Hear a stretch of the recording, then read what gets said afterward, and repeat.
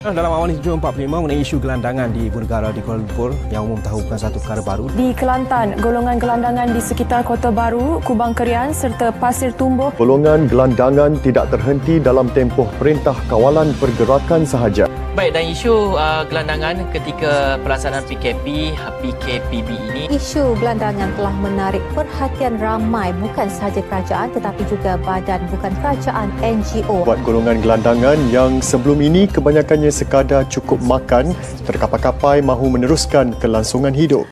Semalam Menteri Pembangunan Wanita, Keluarga dan Masyarakat Datuk Seri Rohani Abdul Karim berkata, obskasi akan dilancarkan bermula Julai ini bagi menangani isu orang gelandangan di ibu negara. Homelessness is a real issue and is fast rising into the country's top social issues. By definition, homelessness is a form of urban poverty and can be identified whenever people are forced to live in informal settlement under subpar living conditions due to sudden changes in their living circumstances. A research by University Malaya Center for Poverty and Development Studies a few years ago showed a sharp rise in urban poor and homeless people, and there is a need to battle urban poverty. In Malaysia, the statistics show that the number of homeless population from 2011 to 2015 provided by Department of Social Welfare Malaysia and the number is very alarming with an increasing trend of total number of homeless people. The most shocking fact is that the most of these people are Malaysian and yes, the one we call country homes are living on the street. Homeless people often face various problems, especially in safety, food, and shelter.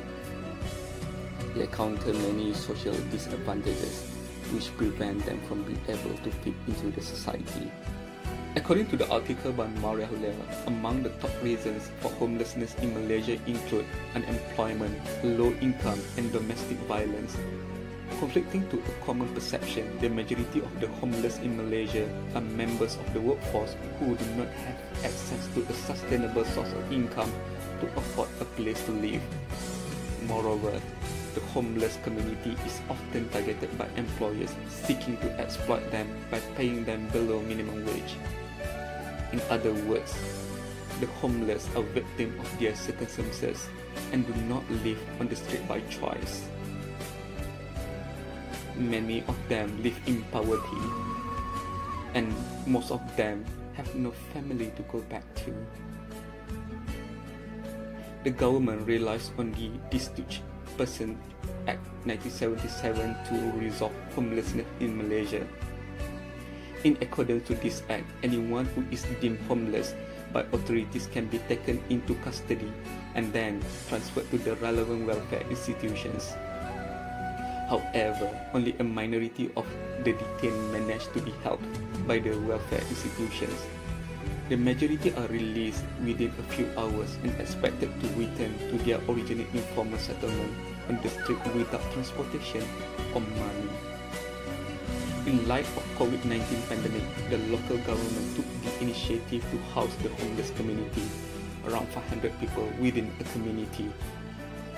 The prompt response of local government in aiding the homeless community during the COVID-19 pandemic provide a hopeful insight into the increasing effort and continued investment in improving the social welfare of the homeless community in Malaysia.